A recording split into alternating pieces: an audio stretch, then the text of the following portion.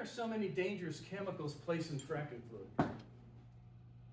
Um, look at look at all some of this stuff. It's hydrochloric acid, you know, citric acid, bauxite, some of arsenic, arsenic, benzene, formaldehyde, lead, and mercury. Why? There's no need to put that in fracking fluid, but it's it's put there, and I have a theory on that. I can talk about that at Q and A if you want. Next. Okay. Um, in this basin, the Mancos Shale is often in contact with or perilously close to the drinking water aquifer. Okay? The, the blue area, you can see it up there a little bit better, but the blue area, that's the base of the aquifer. It's faulted down the base of the aquifer. In some places, you can see that the Mancos Shale, which is what they're going to frack, it's the organic shale, right? They're going to frack that, and too often it's in contact, direct contact with the water aquifer. Yes? I don't have a mic. Uh, this is Laura, environmental educator. I apologize for my ignorance.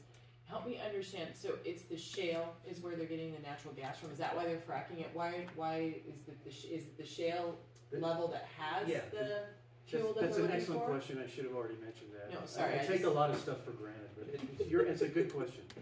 Um, they go after the shales because they're organic rich, and most of these shales across the world where they're fracking now, these are the Can't sor- hear. these are the source rocks for oil and gas in these basins. Okay, so they are the source. They're the source rocks. Okay, so so they used to drill uh, conventionally in all of these um, in basins and for these different formations. And then when they got the technology, they just said, well, why don't we just go into the source rock and drill horizontally and blast it and bring it all back out? Okay, That's why they go after the shales. got it. Okay. Next, please. Okay, this slide is just a, a little bit bigger slide, and it shows that if you if you uh, if they drill down into the Mancos Shale and they cut horizontally across, and then they frack it, and they're anywhere near a contact, they're anywhere near a contact with with the uh, the reservoir. Yeah, we have a little bit of a technical difficulty here with our. We'll, we'll come back to this, but, but, but the point is that if if they There it is. frack anywhere near uh, a fault in contact with the reservoir, it doesn't take a rocket scientist to say they're going to pollute the reservoir, right? The other thing is that they're going to be encountering these faults, which are everywhere, which are conduits themselves, right? Next, please. That was quick, Johnny. That was that's a quick fix. Mr. Chairman, I yield back. Okay, thank you. This, this slide, um, remember I told you that um, the, the Rio Grande Rift is active. And what that means is it's still pulling apart, which means an, an active seismic basin means it's prone to earthquakes. This is a map that was uh, done uh, quite a few years ago. It's out of date, but it shows uh, from New Mexico Tech all of the earthquakes in New Mexico uh, and if they updated this map, you would see many more earthquakes up in the San Juan Basin and in the Permian Basin caused by fracking. And a good point to note it is in the United States Geological Survey said for New Mexico, the area that is home to more earthquakes than any other region is the Rio Grande Valley between Socorro and Albuquerque. And we're standing right in the middle of that zone. It's all, we're standing right in the middle of that zone that's prone to earthquakes. So, so this is the chair, so just a question so I understand, the area is prone, and I also understood that there are tremors, not necessarily the big earthquake that you tend to think about, you know, in other places that happen, and, but, but we're, a- it's a very fluid area and prone to, to bigger earthquakes, other than the, the seismic, In fact, it says we're uh, experiencing. it- um, in, at New Mexico Tech, one of the papers in 2009, because of the large number of active faults in the Rio Grande Rift, the probability of a future large earthquake uh, in the rift is significant. yeah, that's what I was trying to get at, okay. Okay. Now, when I was talking to one of the um, commissioners, he actually said, "Well, yeah, I felt earthquakes over by my house." Said, well, yeah, you know, it's because you're in the middle of the Rio Grande Rift. Okay, it's already prone to earthquakes. Uh, next, please. All right. Upper left is a cross section of the San Juan Basin. It's a bowl, right? Not a lot of faults in it. Upper right is a cross section of the Delaware or Permian Basin. Not a lot of faults, right? This is the Anadarko Basin in Oklahoma. Same thing. Looks just like the San Juan Basin, right? And yet, when they frack in, in Oklahoma, they're having, getting thousands of earthquakes. And these are two pictures of earthquake damage of infrastructure in Oklahoma. And here's a shot of, of uh, one in uh, southwestern New Mexico, down the Permian Basin. These are happening where they're fracking in areas that are relatively stable basins that are not prone to earthquakes. Right? Next, please. Okay, remember I told you they got they get rid of these disposal wells, they drill these disposal wells, and if they happen to get anywhere near a fault, the fluids go in there, and faults that haven't been active in millions of years tend to move and cause earthquakes in Oklahoma. Okay? This water always wins. Imagine what happens if they do earthquake, I mean, they do disposal wells here.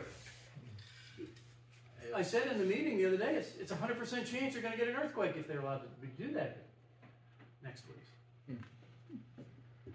Um, I wanted to put something in here more specific to you all because um, because the area there was a study done and I'll show you that in just a second, just south of here.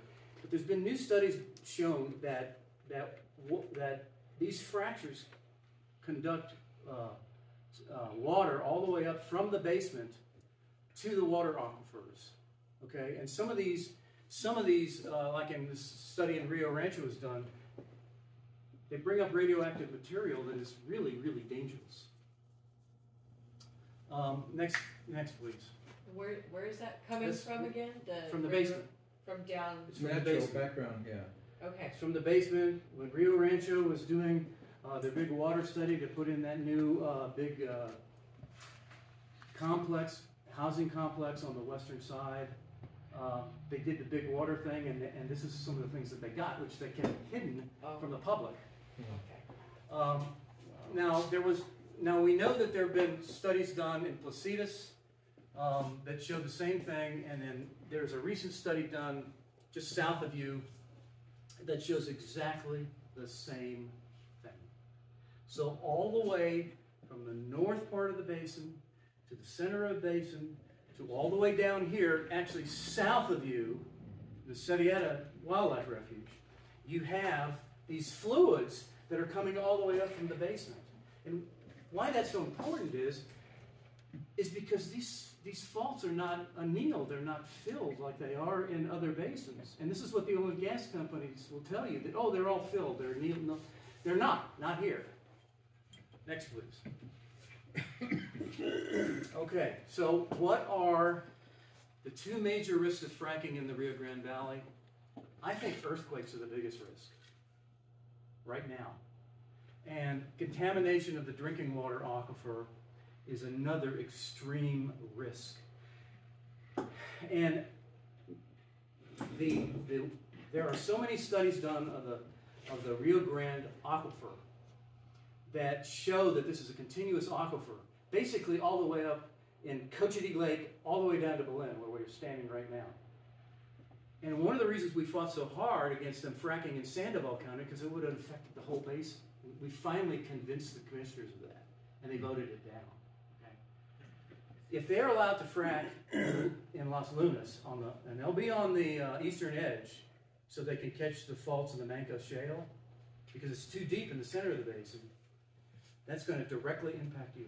First, it's, what it's going to do is it's going to cause earthquakes where they're fracking, and then they're going to screw up the water reservoir. And you're only what? What did you say, Andrew? 70 feet, 40 feet? You drilled these wells out here? Right near the river. I mean, our, our, our production wells. What, what's going to happen to, to your wildlife area if you've got all salt water coming down there, or gas, or you know, or you know, I mean, it's it's this is a very real thing. That's why I'm here. You, you know, because it's so important for everybody to realize this.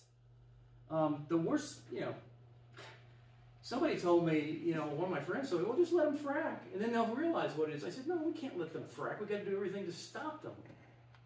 And that's that's where you all come in. Okay.